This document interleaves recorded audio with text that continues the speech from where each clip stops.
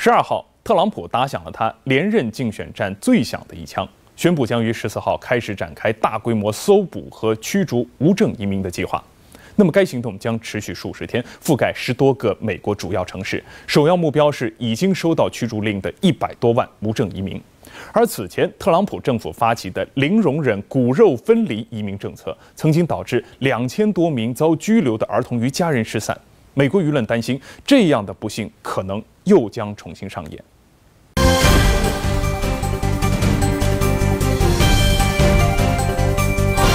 十二号一早，特朗普在白宫表示，美国移民和海关执法局本周末将在全国范围内展开对无证移民的突袭搜捕行动，并将他们驱逐出境。他说，他们是非法进入的，我们会把他们送回他们的国家。特朗普称，ICE 行动将特别关注那些罪犯，我们会把罪犯抓出来，把他们关进监狱，或把他们关进他们自己国家的监狱。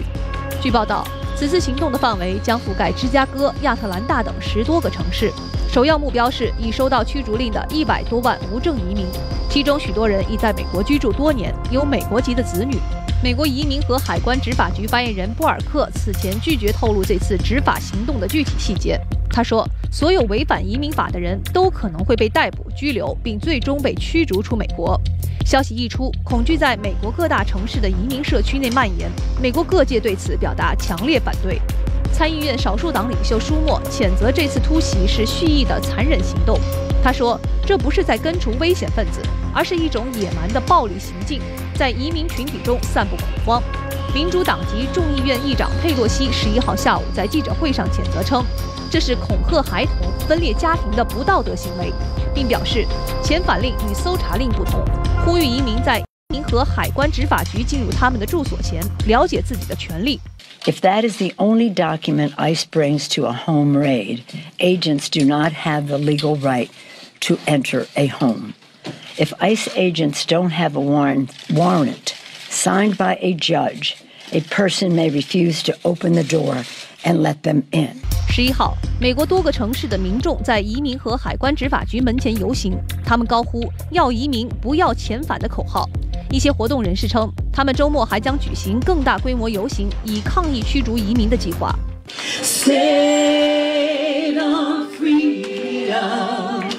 Woke up this morning with my mind. Going to send a message to ICE that you are not going to, we are not going to allow you to separate and destroy our families. 自特朗普上台以来，移民政策就成为其执政的重点。此前，他曾强力推行对美墨边境非法移民的骨肉分离政策，即对非法入境者采取抓获必收押、起诉遣返的措施，并将父母与未成年子女强制分离。这一零容忍的骨肉分离政策一出，立即遭到美国各方强烈指责，还招来五位美国第一夫人的集体发声抗议，其中就包括特朗普的现任妻子梅拉尼亚。迫于压力，特朗普废除了骨肉分离政策。不仅如此，为了建造美墨边界墙，特朗普不惜让联邦政府停摆。美国移民局甚至删除了“美国是移民国家”的说法。美国有线电视新闻网称，特朗普认为，如果能令美国民众对非法移民的恐惧之火熊熊燃烧，就能激起保守派选民的投票热情，令自己在2020大选中获胜。在大规模搜捕、驱逐非法移民行动之前，特朗普十一号曾宣布放弃将国籍选项加入2020的人口普查，但他同时强调不会放弃确定美国公民身份的努力，将签署行政命令，要求联邦政府机构向商务部提交美国公民及非美国公民的人口统计数据。这一数据将比人口普查得来的结果更精准。